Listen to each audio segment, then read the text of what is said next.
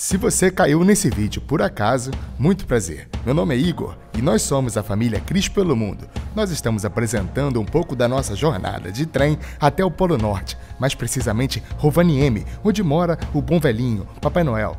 Mas não é só muita neve e gelo e frio que tem por aqui não. Tem muita coisa divertida para fazer. Até porque, falando em frio, você já pensou chegar no Polo Norte em pleno inverno e encontrar temperaturas positivas? O clima está mudando e o tempo fechou. Isso porque, com o aumento da temperatura, aumenta também a umidade do ar. E a tão desejada e esperada aurora boreal, ou luzes do norte se preferir, ficaram tímidas atrás das nuvens. Logo, logo, quando nos hospedamos num hotel fantástico, todinho preparado para observação desse fenômeno por aqui.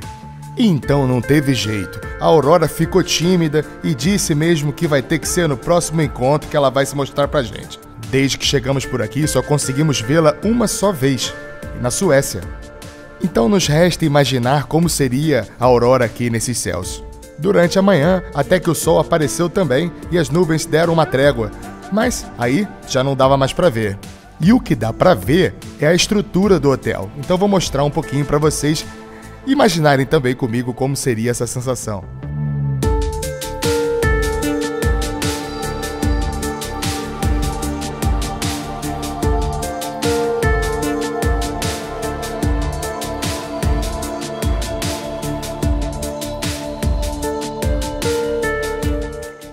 Já que o tempo não quis colaborar muito com a gente, é hora de aproveitar o delicioso café da manhã.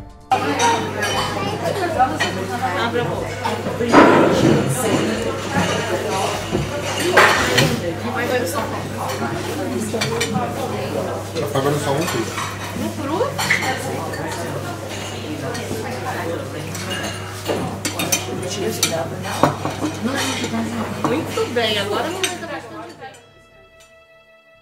E não teve jeito mesmo. O tempo fechou o clima esquentou e o jeito foi se divertir na neve. Sim, um clima um pouco mais quente não significa que não tem neve, pelo contrário, tinha muita neve. E é essa justamente a parte boa da história. Nós pudemos nos divertir na neve sem sentir frio e também sem poluir o ambiente e colaborar mais ainda para essa mudança climática, né? Isso que a gente não quer.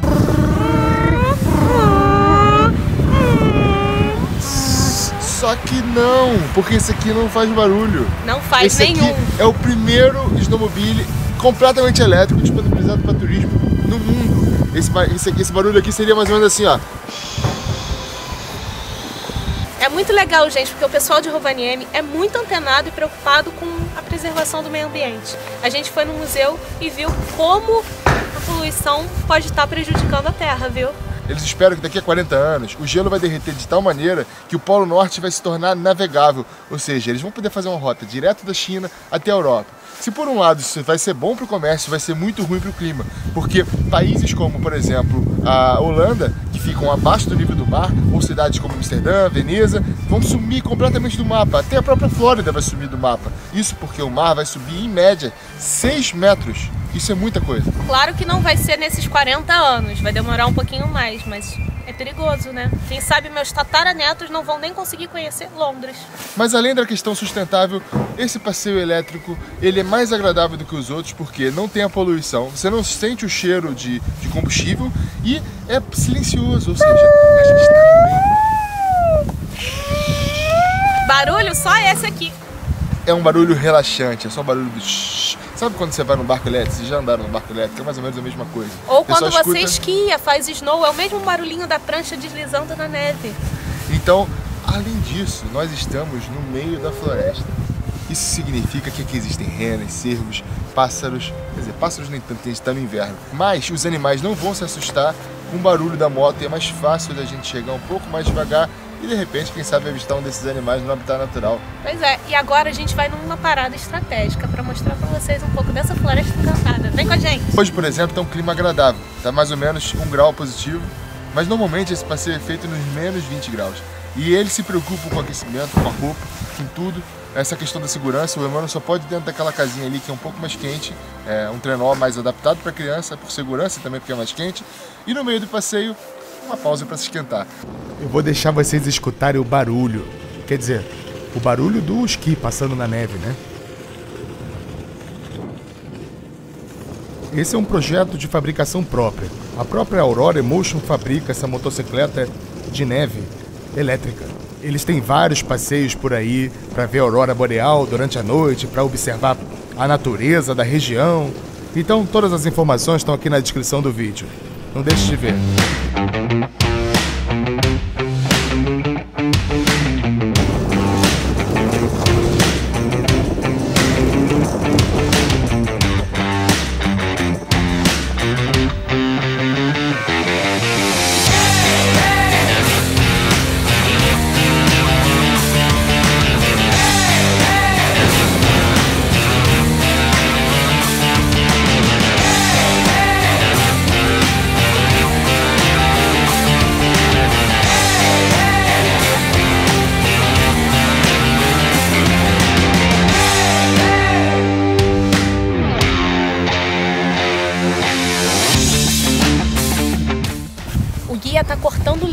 Exato momento enquanto a gente conhece a floresta para poder fazer o nosso chá.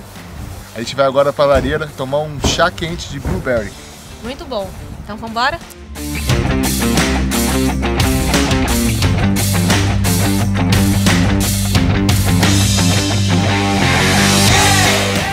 Então não vamos deixar ele cortar lenha sozinho, vamos ajudar, né? É, vamos tentar.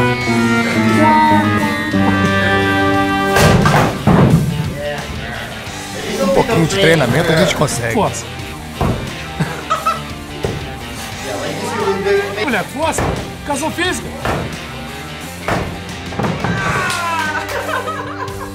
Enquanto ele termina de arrumar a lareira, vamos explorar um pouco aqui da floresta toda cheia de neve. Tem que tomar cuidado, porque quando menos espera, tá pisando dentro do lago. Sai daí, menino, é o lago. E a outra ainda se joga lá no lago e deu a ideia de Jirico da gente se jogar lá no meio da neve. E eu gostei da ideia.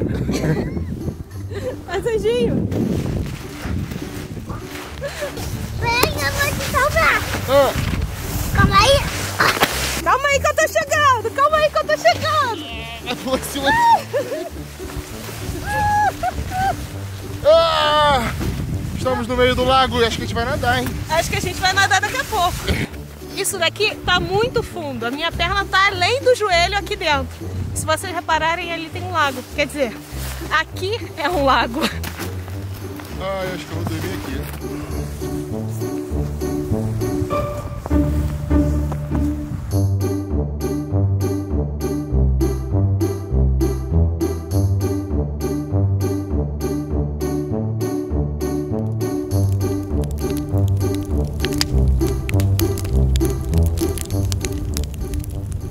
Cris já tinha se acostumado tanto com a temperatura, que também já não estava tão fria assim, vai? E tirou o casaco. Tá muito quente. Tá muito, muito. Eu tô suando. Ele estava cortando madeira, você cara, eu, tô, eu tô com muito calor. Eu tô com muito calor. Não é possível, não é possível. Tem que comer mais. Não tá dando gente. Caraca, eu tô suando, real. E vamos aproveitar que a temperatura não tá tão amena assim e vamos sair daquele casulo ali de trás e vamos nos divertir no snowmobile, snowmobile ou moto elétrica de neve.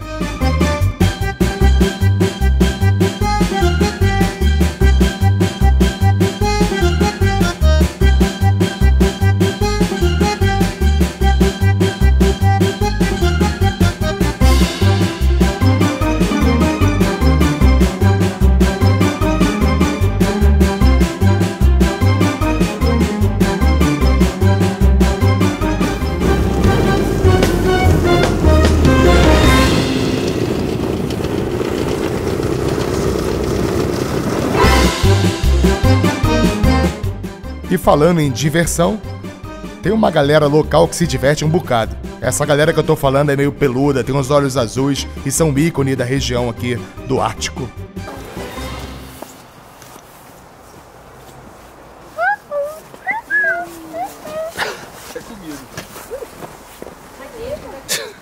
Eu tentei dar caguinho. O Husky Park fica dentro do complexo ali da casa do Papai Noel e da vila de Rovaniemi. É imperdível e único.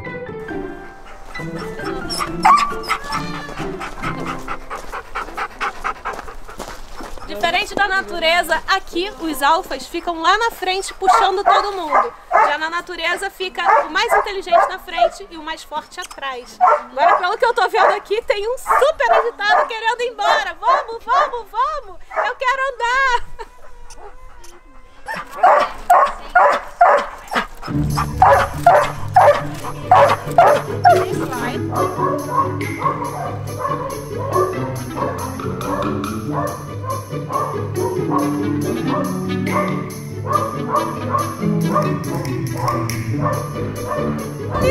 gente!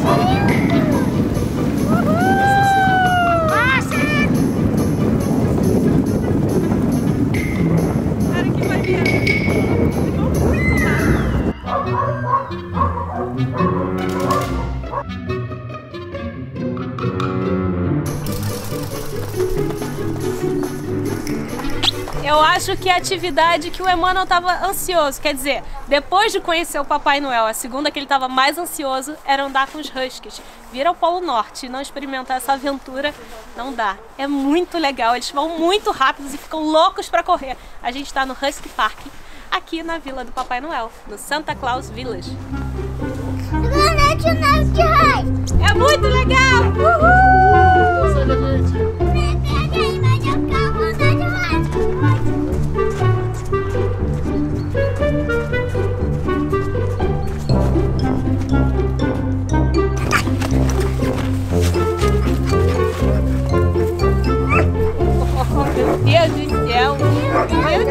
Do céu, que coisa linda! Que coisa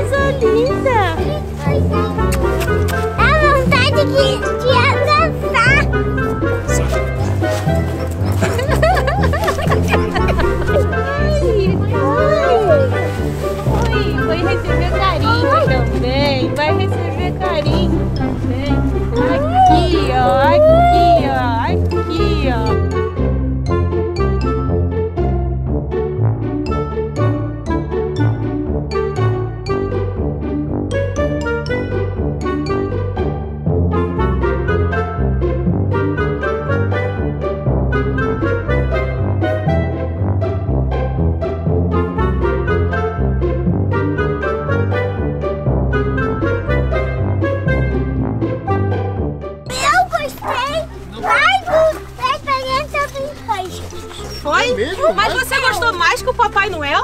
Ou foi igual e tão legal quanto? O Papai Noel foi tão legal quanto e o Husky foi tão igual quanto. É? O Husky é muito bonito, né, filho? Foi muito legal, gente. Muito obrigada, Ravaniene, por essa aventura incrível da nossa vida. Obrigado por ter proporcionado pra gente um dos melhores momentos. E a felicidade do meu filho estampada no sorriso dele não tem preço. E é com Husky Park que nós encerramos a nossa experiência aqui pelo Círculo Ártico, no Polo Norte, como preferir. Sem dúvida nenhuma, essa experiência toda vai ficar marcada não só na vida do Emmanuel, mas em todas as nossas vidas. Foi muito interessante ter contato com o estilo de vida aqui dessa região. E dizem que no verão é mais divertido ainda. Quem sabe a gente não volte por aqui. Então corre, corre que o nosso trem já está saindo. Próximo destino, Copenhague. De volta para o sul da Europa, no nosso caminho até Paris. Não deixe de se inscrever no canal para ficar por dentro de toda essa aventura e de assistir também a playlist Quebrando o Gelo. Aí você fica por dentro mesmo, de verdade, de todos os detalhes. E se você gostou, compartilha, ajuda a espalhar informação de qualidade por aí. Muito obrigado por ter assistido esse vídeo até o final. Beijos e até a próxima.